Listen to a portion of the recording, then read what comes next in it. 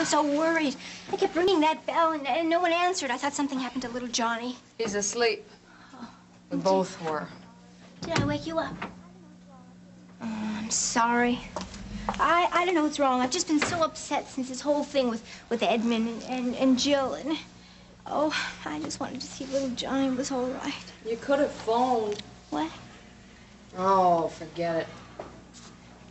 It's just terrible, isn't it? Just awful. Have you heard anything else yet? Look, I don't know. Uh, if I guess Maeve would call if you know something happened. Yeah. Maeve and Johnny up in Washington and Frank's swearing in. And, and then the next thing I hear, they're at Long Island Well, Rae. Woodard flew him up in her private jet, and then her her car picked him up at the airport. Yeah. That's kind of a nice way to live, I guess. It's going to be a long time before I'll be able to live like that. Why don't you go over to the hospital if you really want to know what's going on? Oh, no, but that would be interfering. Flowers from Wes Leonard? And boxes of candy and forgive me notes. I, uh, don't believe it. After the column that he wrote about Frank, I mean, with all those criminals, and you'll allow these in your house? Well, they came today, and uh, flowers in this house today seemed like a good idea. Yeah, but from Wes Leonard. I like roses. You know, you are amazing. I don't know how you get away with the things that you do. I, I could never do them. I mean, things like like having an enemy of the family, gifts from him all over your house, and and the uh, planning development thing. I mean, how do you do it? How do you Well, the secret is plenty of sleep. sleep? How could you sleep at a time like now? Dee, working eight hours a day on the job and spending nights working on this project for Frank, plus having this family tragedy to deal with, believe me, you get sort of tired. Oh, and uh, you'd like to go back to bed now? Okay, well, I'll be leaving in just a few minutes. now, this, uh, little plan of, uh, Frank that he's working on? Uh, well, I'm.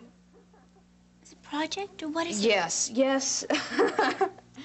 Funny you should ask, because. Do you remember that woman, Ethel Green, who uh, was such a help to Frank in this district during his election? Uh, Well, she had a little problem, and she brought it to Frank, who didn't have any time to deal with it, so I volunteered.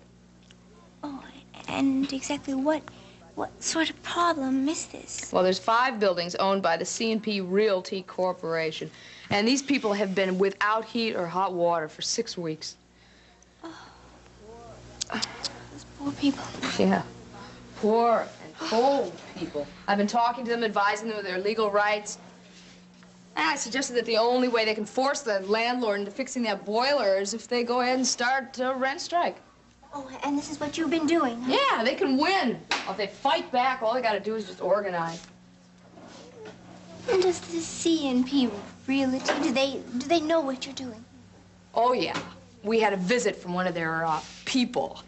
He came in, huffing and puffing, throwing his weight around, threatening everybody by saying, You, you people just keep what you're doing. You're gonna have big trouble. And, and I take it you got very, very scared. Oh, yes, well, I was uh, apprehensive. But when I got back here, that passed. Yeah.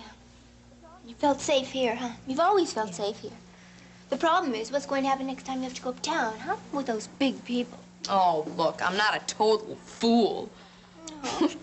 Next time I go uptown it, at night, I won't be alone. Oh, and uh, are you going to find some other cuckoo to go with you? Yes, Jack Fenelli. Jack Fenelli is going to ride shotgun with you when you go uptown. Uh-huh. he volunteered. As a matter of fact, Dee, he insisted. Well, you're kidding. I, uh, bet Mary isn't going to like this one.